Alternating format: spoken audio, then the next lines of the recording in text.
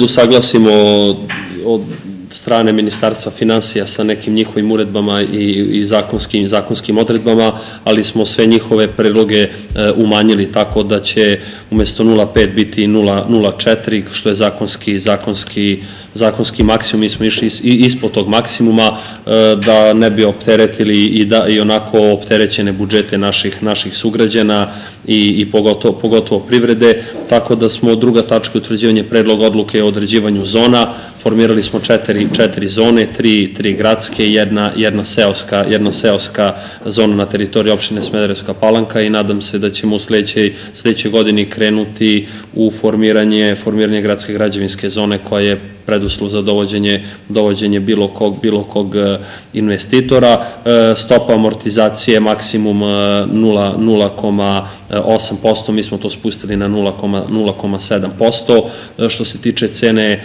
laste, podigli smo peronsku kartu jer smo prosto morali mislim da imamo najnižu, najnižu kartu, sada će se ljudi iz laste naravno ljutiti, ali mi moramo brinuti interesima naših građana sa 40 na 50 dinara, ali cena, cena karte, cenu karte nismo, nismo podigli, e, imamo zakonskih obaveza da podignemo maksimum do, do 8% u toku godine, mi to ove godine nismo iskoristili,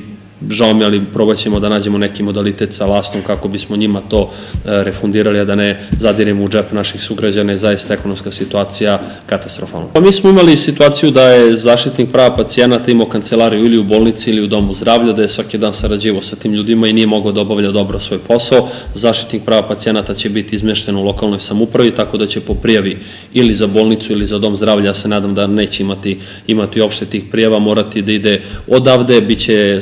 funkcioniran ovde, plaćaće ga lokalna samuprava, jer zaista ulazimo u sukob interesa koga plaćaju bolnica i dom zdravlja, on mora da kontroliše njihov rad, a od njih dobija, dobija, dobija platu, prosto to nije, prosto to nije moralno i nije, nije izvodljivo, tako da ćemo mi preuzeti tu obavezu, mi ćemo ga plaćati kako bi mogao da izađe pacijentima u susreti, bit će stacioniran u lokalnoj, u lokalnoj samupravi. E, ime nismo, ime još uvek nismo izglasali na veću, ali znamo ko će, ko će to biti i što se tiče sledeće, sledeće tačke, mi smo e,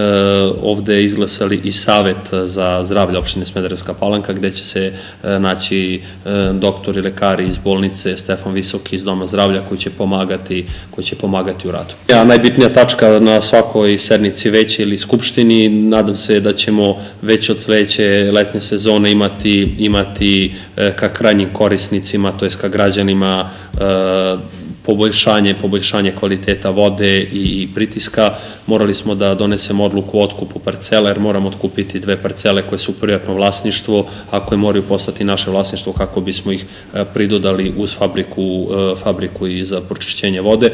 Svakodnevno se održavaju sastanci, zaista Evropska unija je dodelila sredstva, ali zaista oni taj svoj posao rade ozbiljno i mi nemamo šta da, da dodamo, pratimo ih, pratimo ih u svim onim što oni nalažu, sad su naložili da moramo otkupiti te dve parcele, pošto ne možete raspisati javnu licitaciju jer je to vlasništvo jednog čoveka, moramo da ići, ići direktnom pogodbom, ovlastili smo javnog probranjaca da se dogovori sa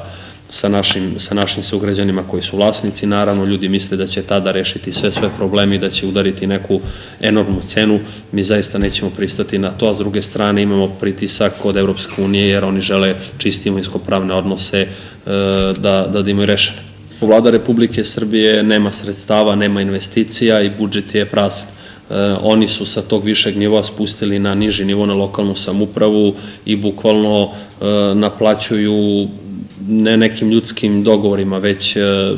pristupom sile naplaćuju sve što, što, se njima, što se njima duguje. Mi smo imali taj problem, taj problem smo, taj problem smo rešili i isplatit ćemo sve što ova opština duguje, ne samo što je Eurokovac napravilo, već su to dugovi od 96. 97. 97. godine, ali ću takođe iskoristiti svoje statutarno pravo da e, sve trafo i sve dalekovode koji prolaze kroz teritoriju opštine Smederevska palanka proglasimo gradskim građevinskim zemljištem, pa će takođe elektrodistribucija morati to nam od sada da plaća, neće moći više da postavljaju svoje e, trafo i svoje trafostanice, a oni posle od građana naplaćuju e,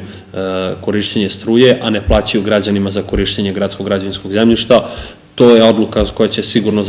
zadati u džep e, elektrodistribucije, ali prosto mi plaćamo, e, plaćamo sve, naše, sve naše obaveze, građani nama dobiju 400 miliona, to sam rekao i prošlog puta, mi nismo išli da građanima zaplanjujemo stvari, jer prosto moramo brinuti o tom socijalnom aspektu, jer se sve teže i teže živi danas u državi, a nisam siguran da vlada baš ima, baš ima izlaz, već te prinudne naplate, do njih građani ne mogu doći, ne mogu doći do njihovih ministarskih kabineta, ali svakog dana mogu doći ovde i ja prosto moram da, da, da, da se sa te ljudske strane saosećam sa građanima i zbog toga su ovolike socijalne pomoći, jer građani zaista teško žive i moramo biti nusluzi građanima jer su nas oni izabrali.